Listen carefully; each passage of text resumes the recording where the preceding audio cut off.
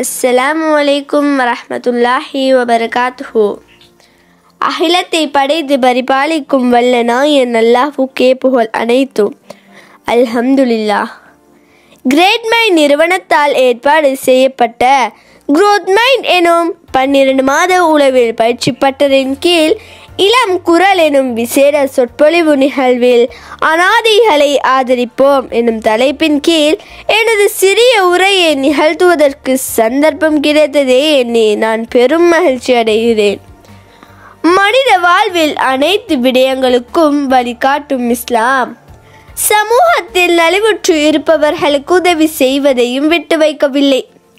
அந்த வகையில் சமூகத்தில் நலிவுற்றவர்களாக விதவைகள் அனாதைகள் ஆதரவற்றவர்கள் மற்றும் அங்கவீனர்கள் போன்றோரை குறிப்பிடலாம்.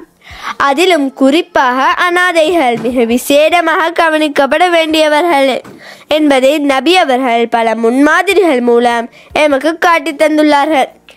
சகோதரர்களே சிறு வயதிலிருந்து அனாதையாக வாழ்ந்த நபி அவர்கள் ஒவ்வொரு அனாதையும் எதிர்கொள்ளக்கூடிய பிரச்சனைகளை அனுபவ ரீதியாக உணர்ந்துள்ளார்கள். ஆகவே அனாதைகளை அரவணைப்பதும் ஆதரிப்பதும் முஸ்லிம்களின் கடமை என்பதை வலியுறுத்தி கூறியுள்ளார்கள். நபி ஸல்லல்லாஹு அலைஹி வசல்லம் அவர்கள் கூறினார்கள் அனாதைகளை ஆதரிக்கும் வீடே சிறப்பானது.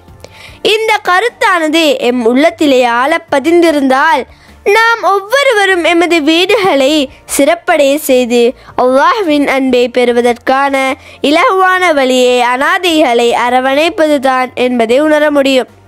மேலும் அனாதைகளின் விடயத்தில் முஸ்லிம்களாகிய நாம் அன்புடனும் பண்புடனும் நடந்து கொள்ள வேண்டும். அவர்களுக்கு எந்த விடயத்தில் தேவையுள்ளதோ அவ்விடயத்தில் நாம் தாராள மனதுடன் உதவி செய்ய வேண்டும். அவர்களின் மனம் நோகும்படி நாம் ஒருபோதும் நடந்து கொள்ளக்கூடாது. எமது வெறுப்பையோ அல்லது கோபத்தையோ அனாதைகள் மீது காட்டும் போது அவர்களது மனம் புண்படுகின்றது. ஏற்கனவே மனம் நொந்து போன அவர்களுக்கு எமது அன்பும் அரவணைப்புமே அதிகமாக தேவைப்படும். அல் குரானிலே ஆகவே நீங்கள் அனாதைகளை கடிந்து கொள்ளாதீர்கள். என குறிப்பிடப்பட்டுள்ளது. எனவே நாம் இயலுமானவரை அவர்களின் துஆவை பெற்றுக்கொள்ள முயற்சிக்க வேண்டும்.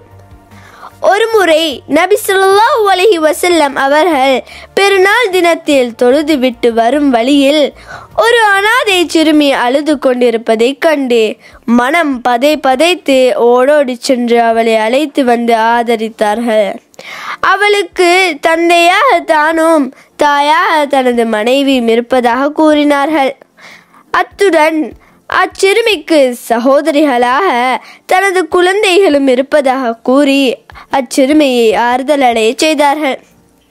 எனவே சகோதரர்களே நாமும் நபி வழியை பின்பற்றுவோராக இருந்தால் அனாதைகளை ஆதரிக்க முன்வர வேண்டும். அப்போதுதான் அல்லாஹ் நம் மீது அன்பு காட்டி அவனது கருணையையும் பொழிவான் என கூறி விடை பெறும் நான் எம்மை நிதா. GMG 22031 وآخر دعوانا عن الحمد لله رب العالمين جزاكم الله خيرا ஆம் இன்றைய சொற்பொழிவை வழங்கிய இளம் பேச்சாளருக்கு வாழ்த்துக்கள் இன்றைய உரை எவ்வாறு இருந்தது இதன் மூலம் நீங்கள் பெற்றுக்கொண்ட பயன்கள் என்ன என்பதனை கீழே உள்ள கமெண்ட் பாக்ஸில் பதிவிட தவறவிடாதீர்கள் எமது யூடியூப் பக்கத்தினை சப்ஸ்கிரைப் செய்து இது போன்ற இன்னும் பல செயற்திட்டங்களை முன்னெடுப்பதற்கு ஆதரவு வழங்குவீர்கள் என எதிர்பார்த்த வண்ணம் கிரேட் மைண்ட்ஸ் நிறுவனத்தின் மற்றும் ஒரு பதிவுடன் சந்திக்கும் வரை விடை பெறுகின்றோம் நன்றி. வசலாம் அலைக்கும் வரஹமத்துல்லாஹி வபரகாத்துஹு.